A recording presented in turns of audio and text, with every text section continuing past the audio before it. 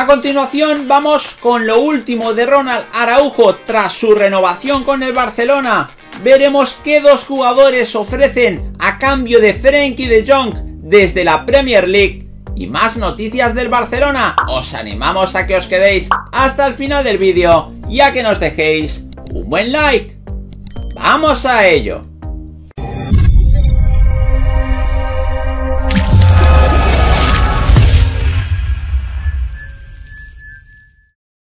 Hola de nuevo gente, ¿cómo estáis? Bienvenidos a un nuevo vídeo de Objetivo Gol. Vamos con la última hora del Barcelona y sin más dilación, vamos a hablar de Ronald Araujo en esta primera noticia y vamos a hablar del mensaje del uruguayo tras renovar con el Barcelona. Todo resuelto con la renovación de Ronald Araujo. El Barça ha anunciado de forma oficial que el uruguayo formará parte de la plantilla azulgrana hasta 2026 en un acuerdo que incluirá una cláusula de rescisión de mil millones de euros. Con ello, la directiva ha asegurado uno de los pilares de la saga y del esquema defensivo de Xavi Hernández, tal y como lo dijo el propio entrenador. Ante esto, el Charrúa ha ofrecido unas declaraciones a los medios del club para pronunciarse sobre su nuevo vínculo. Es una felicidad enorme poder renovar con este club y quedarme muchos años. Es fruto de mucho trabajo y gracias a Dios se da esta posibilidad. Agradezco a mi familia, al club y a mis compañeros que siempre me lo hicieron todo mucho más fácil y a los técnicos que siempre me ayudaron desde el principio que llegué, afirmó.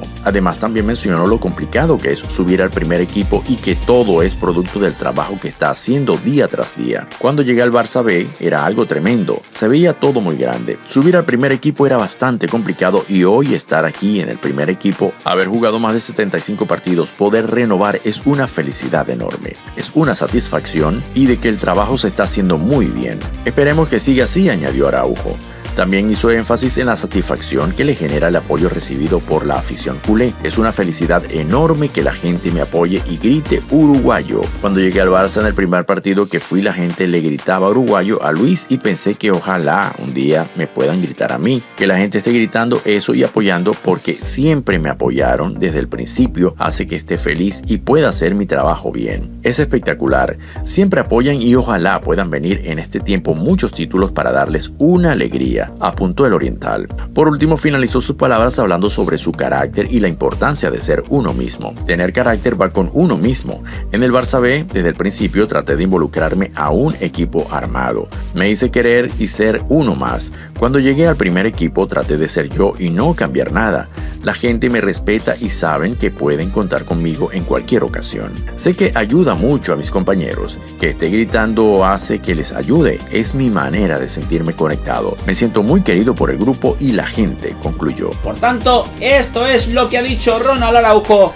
Seguimos hablando del charrúa y vamos a ver cómo se une a un selecto grupo dentro de la plantilla culé. Con la renovación de Ronald Araujo como una tarea resuelta, el club asegurará que su central del futuro sea intocable en todos los sentidos. No solo se mantendrá en la disciplina azulgrana hasta 2026, sino que compartirá la misma cláusula de rescisión de Ferran Torres, Pedri y Ansu Fati, la cual le blindará de cualquier pretensión millonaria de cara al futuro. Después de lo ocurrido con Neymar Jr. en el 2017, cuando el Paris Saint Germain pagó su cláusula de salida por 222 millones de euros, el Barça ha aprendido de sus errores y ha optado por ejercer una nueva política de renovación para sus perlas más valiosas. Es por ello que los cuatro futbolistas tienen permitido abandonar el Camp Nou solamente si un club accede a desembolsar mil millones por cada uno de sus traspasos, lo que les mantendrá a salvo hasta el final de sus vínculos. Este nuevo fichaje es fundamental para el proyecto deportivo de Xavi Hernández, aunque todavía queda pendiente unos más por resolver. Para la dirección deportiva es crucial determinar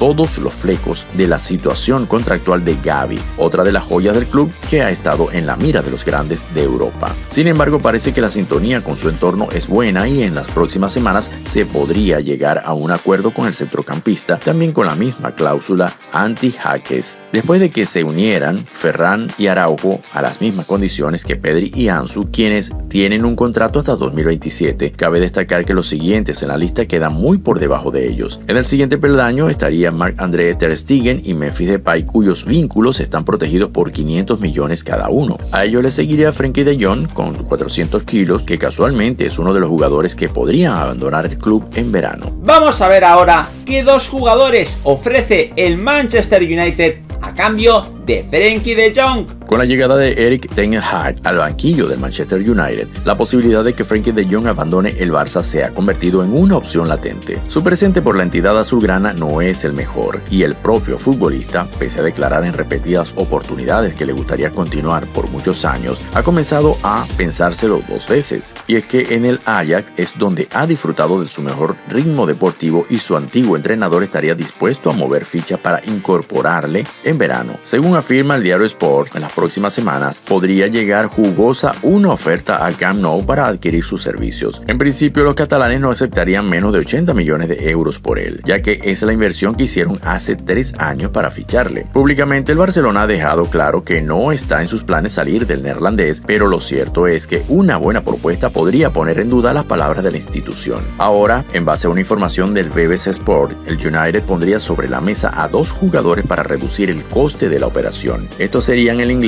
Marcus Rashford, de 24 años, y el brasileño Alex Telles, de 29, ambos con un valor de mercado de 70 y 18 millones de euros respectivamente. Rashford sería una pieza importante para el sistema ofensivo de Xavi Hernández, sobre todo si Osman Dembélé termina abandonando el club a final de temporada. Por su parte, Telles reforzaría el lateral izquierdo mientras que traería competencia al vestuario con Jordi Alba. Sin embargo, ambos jugadores han sido muy intermitentes en la temporada, por lo que es una transacción que deberá ser muy bien meditada por la directiva. El trueque permitiría a los blaugranas forzar dos posiciones importantes con vistas a la 2022-23. No obstante, la plantilla quedaría en el vacío de perder uno de los jugadores más capacitados para marcar diferencias y que más ha costado a las arcas del Camp Nou en los últimos años. Todo está sobre la mesa y su continuidad parece que seguirá en el limbo durante las próximas semanas. Y ya para acabar, vamos a hablar de las renovaciones pendientes en el Fútbol Club Barcelona.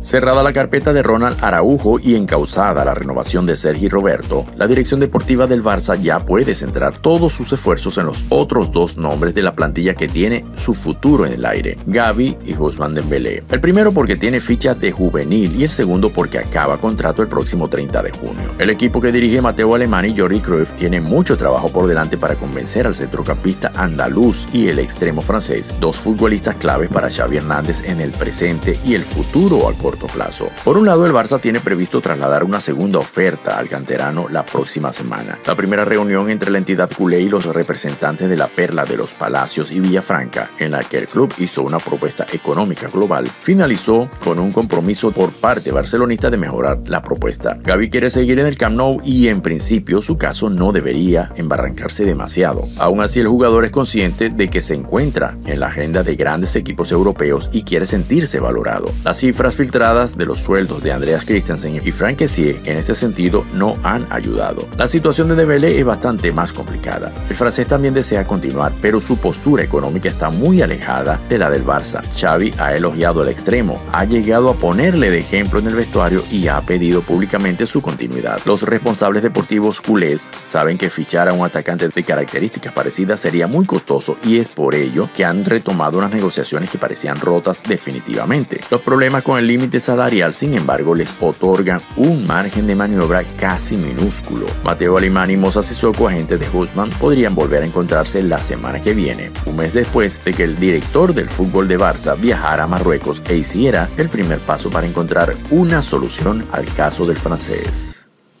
Nada más por el momento, como siempre animaros a que os suscribáis al canal para seguir viendo todos nuestros vídeos. Y aquí os dejamos este vídeo más que interesante para que sigáis disfrutando de todas las noticias del fútbol. ¡Hasta la próxima!